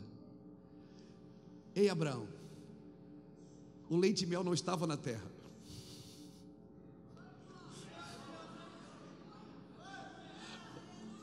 Quando Deus disse, vai para uma terra que mana leite e mana mel, Deus tava, não estava dizendo, ó, vai ter leite e mel na terra. Ele estava dizendo assim, ó, leite e mel estão debaixo da tua língua. Chega lá e profetiza sobre aquela terra. Declara sobre a terra. Qualquer terra pode manar leite e manar mel. Araçatuba também tem leite e mel. Amém? Itajaí também tem leite e mel. Marília tem leite e mel. Qualquer lugar pode ter leite e mel. Se tiver alguém com leite e mel debaixo da sua língua. Deixa eu falar uma coisa para você: a minha cidade, há 10 anos atrás, nós éramos a capital da AIDS do sul do Brasil, a cidade mais violenta do estado de Santa Catarina, um dos PIBs mais baixos do estado. Rota internacional de tráfico de drogas há 10 anos atrás, Itajaí, há 12, era um caos. Os pastores daquela cidade começaram a se reunir para orar, começaram a buscar Deus. Deus começou, nós começamos a ter reuniões intensas de oração. Até hoje, a primeira semana do mês, eu quase não viajo. Na realidade, eu não viajo. Às vezes, quando estou vindo de outra nação, a primeira semana do mês, nós temos sempre os dias de convocação. Das 8 da manhã às duas da tarde, mergulhamos em oração. Itajaí hoje é o maior PIB do estado de Santa Catarina. Não somos mais a cidade com maior índice de doenças. Ano passado saiu na capa de uma revista, Itajaí, a melhor cidade de porte médio para se viver no Brasil. Eu pergunto para você: o que, que é isso? O que, que, é isso? Milk honey, leite e mel, querido. Pessoas que abriram a boca e começaram a declarar leite e mel sobre essa terra. Vá para as ruas de Araçatuba e comece a declarar nas praças, comece a declarar nas empresas, comece a declarar nas igrejas, comece a declarar quando alguém vier falar mal da cidade, você diz leite e mel leite mel, leite mel, leite mel, leite mel. Qualquer terra pode mudar. Como, pastor? Qualquer terra pode mudar, porque eu não fui feito por causa do mundo, o mundo que foi feito por causa de mim. Deus me elegeu nele antes da fundação do mundo. Ei, acorda! Tudo que Deus disse haja, ouve, mas eu não, ele me tirou dele. Porque dele, por ele, para ele são todas as coisas, mas eu tenho a natureza dele. Qualquer terra pode ser transformada profeticamente. É só ter alguém profético. A terra foi criada com quatro elementos.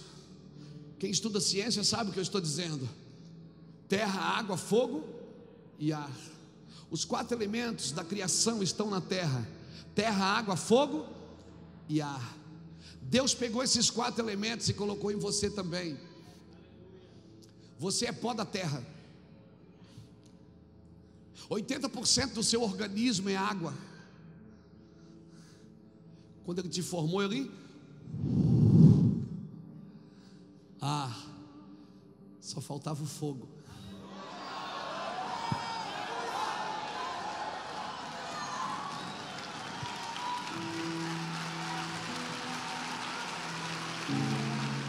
Só faltava o fogo.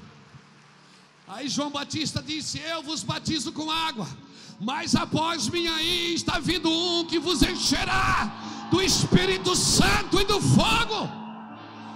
Deixa queimar essa dupla, deixa queimar essa terra com o fogo do Espírito. Comece a declarar. Sabe por que, que às vezes você profetiza e não acontece? Porque a terra só responde aos quatro elementos. Por isso que Jesus diz, querido, bota ali de novo, bota Lucas 12, 49. Meu pai, meu pai. Lucas 12, 49, bota ali. Vim trazer fogo à terra, e como eu gostaria que vocês já estivessem acesos. Ai, como eu gostaria que vocês já estivessem acesos.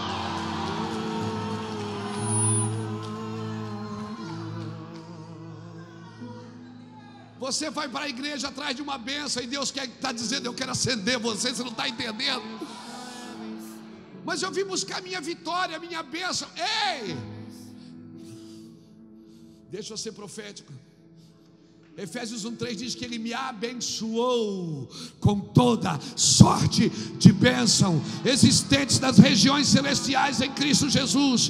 Versículo 4: E me elegeu nele antes da fundação do mundo, para que fôssemos santos e irrepreensíveis diante dele em amor. Aleluia! Comece a falar com a terra, ela vai responder você, amigo. Vocês pensam que eu vim trazer paz? Eu vim trazer fogo, eu vim atear fogo na terra. E eu queria que vocês já estivessem acesos. Era isso que eu queria. Eu não queria que você fosse para a igreja atrás da bênção, eu queria que você fosse queimar. Ei, um pássaro, quando acorda de manhã, ele não diz: Senhor, me abençoe, eu preciso voar. Não. Quando ele voa, ele está exercendo a sua bênção.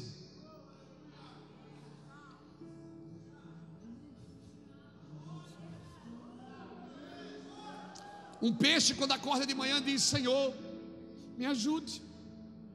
Queria tanto nadar hoje. Não, quando ele nada, ele está exercendo o seu chamado. E eu, pastor, quando é que eu exerço? Minha, meu filho bota ali Gênesis capítulo 1, versículo 28.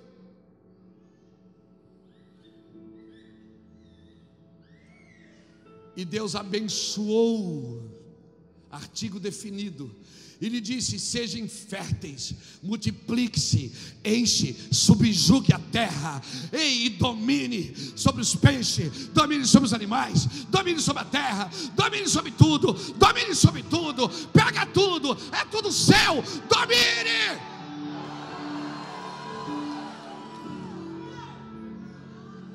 Quando você faz isso, você pratica a sua bênção. Isso é ser profético, é praticar o que está escrito. Então, conferência profética é para isso, para conferir o que Deus disse.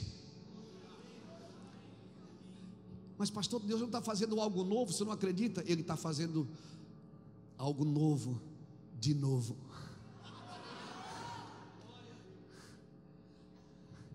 Eu quero orar com você. Eu acho que depois de saber tudo essas coisas, ele pode dar uma chapadinha, não pode? Eu não sei quanto a você, eu estou animado. Eu estou animado. Estou muito, irmão, estou muito animado. Verdade.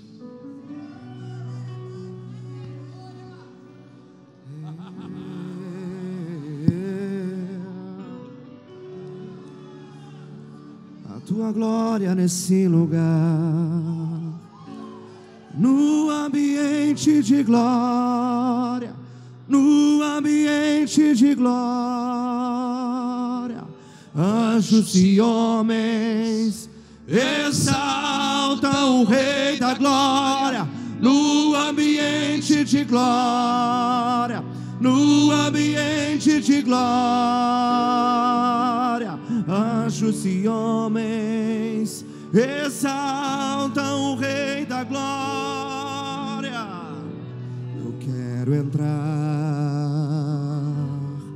no ambiente da tua glória. Posso mandar esse povo correr para cá, pastor? Corre cá para frente ligeiro. Você está numa noite profética. Eu quero Por que, que você ainda não está aceso? Com vestimentas de glória. Sim. Aleluia. Para encontrar contigo, ser outra vez achado em teu coração.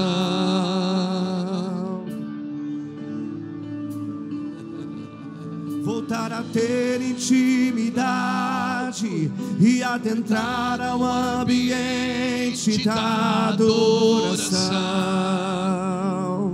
onde anjos e homens te adoram. Onde anjos e homens te adoram, onde anjos e homens exaltam a tua majestade.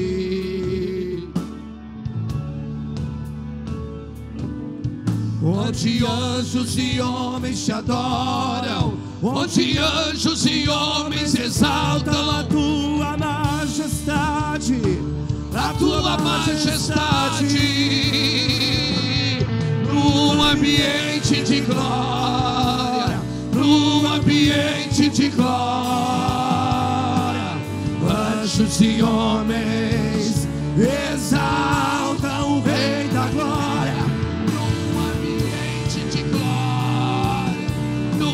ambiente de glória. os anjos e os homens exaltam o Rei da glória, no ambiente de glória. No ambiente de glória. Anjos e homens exaltam o Rei da Glória, aquele que era, aquele que é vir. não há outro que se compare a ti, Senhor, aquele que era, aquele que é e que há de vir. e que há de vir. no ambiente, no ambiente de glória,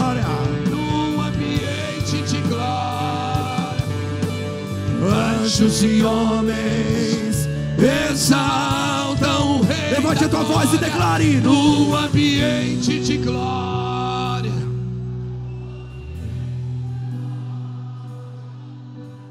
Anjos e homens exaltam. no ambiente de glória, no ambiente de glória, anjos e homens exaltam o Rei da glória, no ambiente de glória.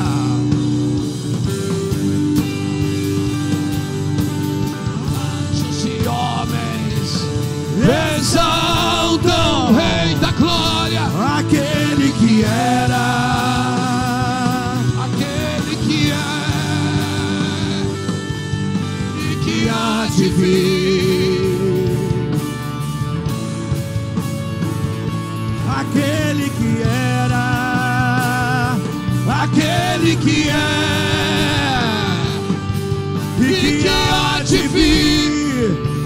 Para governar as ações, aquele que era, aquele que era. Aquele que é e que há de vir, e que há, e que há.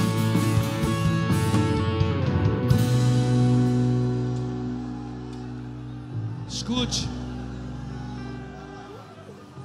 Eu estava estudando esses dias agora sobre o GH, o hormônio de crescimento.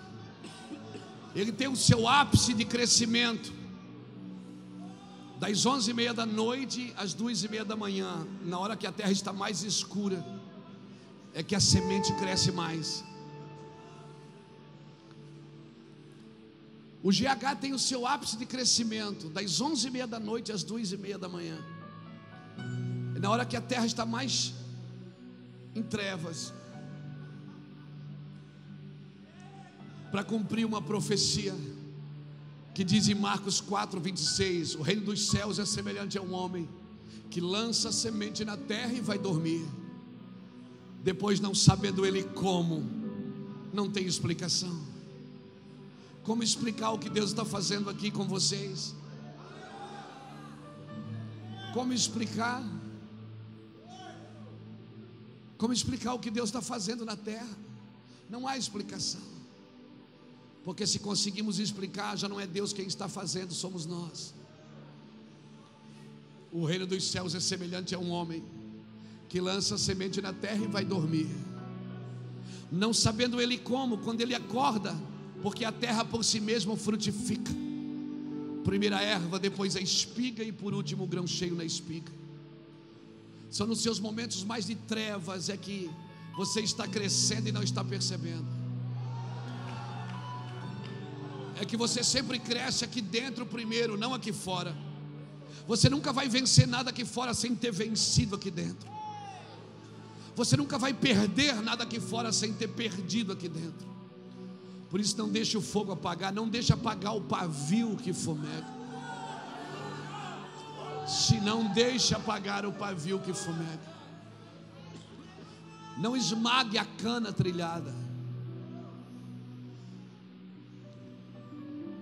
A palavra cana ali significa cane, que quer dizer articulação do ombro. Lá no Peru eu entendi porque que eu estava com os ombros doendo. Porque Deus fala muito comigo assim, Ele se revela em coisas materiais para me explicar coisas espirituais. Na placa de um carro, às vezes numa rua, às vezes despercebido, alguém passa, nem sabe o que aconteceu, mas as leituras espirituais. Não esmague a cana quebrada, cana fala da articulação do ombro. A cápula é o primeiro osso do corpo humano a se calcificar. O primeiro osso a se formar é o crânio, mas a cápula é o primeiro a calcificar. O crânio não calcifica primeiro. Por isso tem a moleirinha da criança, já viu que é molinha? O primeiro osso a calcificar no corpo humano é o ombro. Era onde os coatitas levavam a arca do Senhor. Sabe o que o Senhor está dizendo? O primeiro osso que eu calcifico no meu corpo é o lugar de carregar a minha presença. Sim. Trate as prioridades como prioridades, seja profético. As prioridades, elas sempre serão prioridades. Que noite gloriosa, irmãos. Sinto muita liberdade no meu espírito. Vocês estão orando muito aqui. Porque realmente vocês fazem jus ao nome. Os céus estão abertos aqui. As palavras não param de cair. Aproveitem isso. Zelem por isso. Não parem, não deixe que isso pare em vocês. Levem para as ruas, levem para as nações, levem para os povos. Realmente isso é um ambiente de glória. Num ambiente de glória, palavras viram sentenças. Dê a mão para quem está do seu lado, dê, por favor. Me deixa fazer uma última oração. Me dê a mão para quem está do seu lado.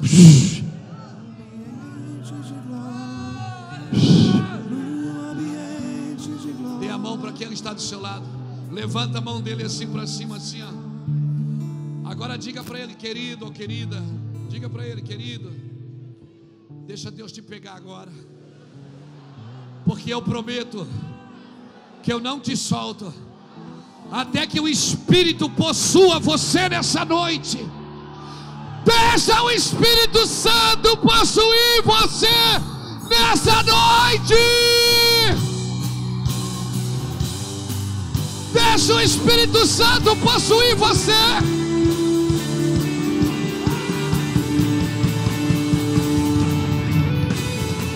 Glória! Deixa o Espírito possuir você. Deixa o Espírito possuir você. Ah, como eu queria que você já estivesse aceso. Eu queria que você estivesse aceso. Eu queria que você estivesse aceso. Siga a nuvem, siga a nuvem, siga a nuvem, siga a nuvem. Aleluia!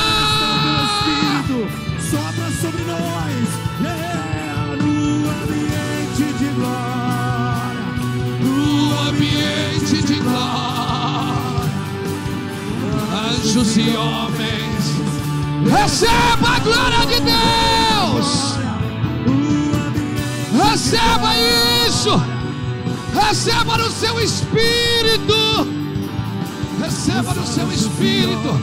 Receba no seu espírito. Receba no seu espírito. Receba. Sim, recebe. Receba no seu espírito. Receba no seu espírito, garota. Receba no ambiente de glória. No ambiente de glória. Os Os anjos e os homens. exaltam o Rei da Glória, aquele que era, aquele que é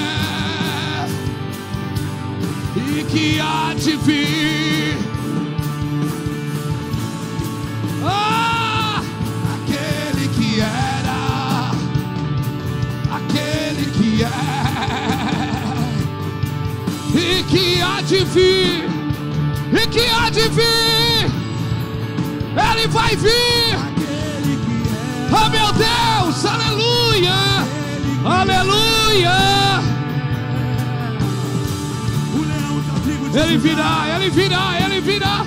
Se levantou o rei da glória, aquele que era, aquele que é, o rei da glória se levantou, se levantou o rei, se levantou o rei, no ambiente de glória.